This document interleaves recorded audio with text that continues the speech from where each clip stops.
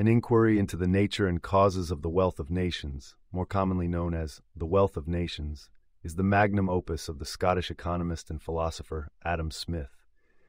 Published in 1776, it is a seminal book in classical economics and laid the foundational principles for modern economic thought. In this volume, Smith discusses a wide variety of topics that come together to explain how nations achieve wealth and how they can sustain economic growth. Smith starts by introducing the concept of the division of labor, which he asserts is the key to improving productivity and efficiency in an economy. He uses the example of a pin factory to explain that when the production process is divided into specialized tasks, workers become adept at their particular task, leading to greater output than if each worker created the entire product on their own.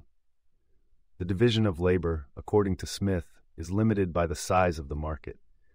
Larger markets allow for a more extensive division of labor, and hence, more efficiency and productivity. He goes on to discuss the importance of free markets and competition. Smith argues that when individuals pursue their own self interest within a competitive market environment, they inadvertently contribute to the economic well being of society.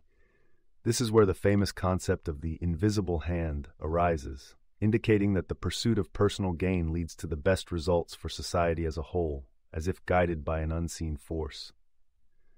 The role of money is also explored as a medium of exchange to facilitate trade, given the impracticalities of barter in a complex economy. Smith discusses the accumulation of capital and its relationship to the wealth of a nation.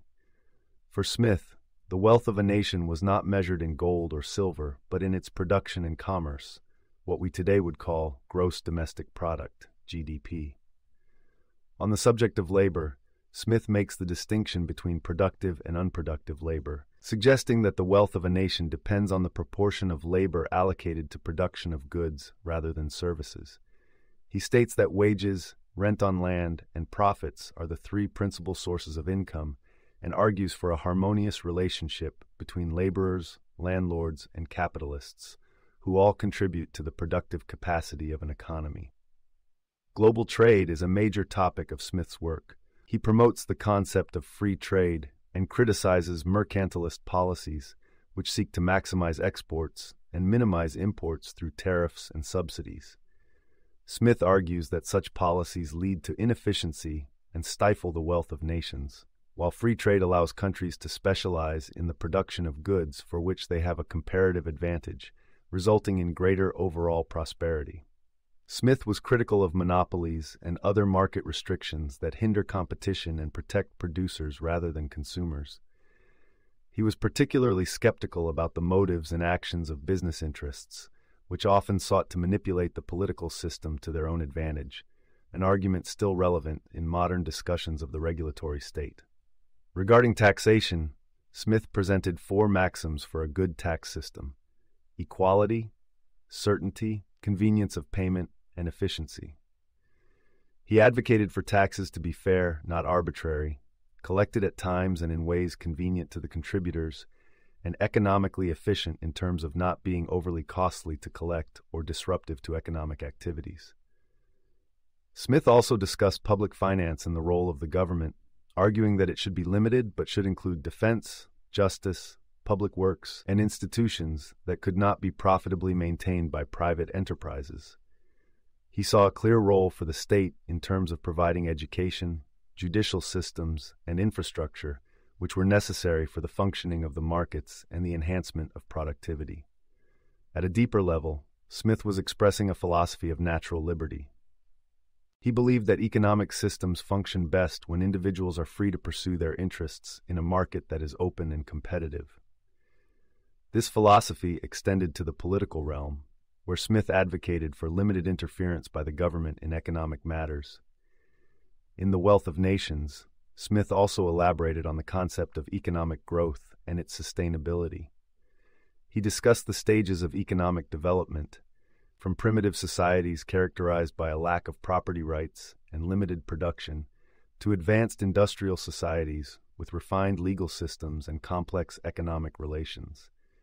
He underscored that economic development was a dynamic process that was propelled by the human proclivity to truck, barter, and exchange. While the growth of an economy was important for national wealth, Smith also warned against the unchecked pursuit of wealth at the expense of broader social values. Beneath the surface of his economic theories lay a profound moral philosophy that considered the welfare of all citizens.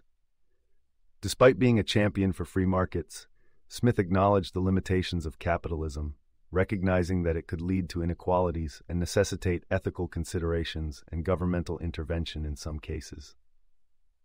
Ultimately, The Wealth of Nations is a comprehensive exploration of economic theory, practice, and policy that goes beyond simple prescriptions or policy recommendations. Smith offered an analysis of the economic system that, while promoting the efficiency of free markets and a limited role for government, did not ignore the complexities and moral implications of economic behavior.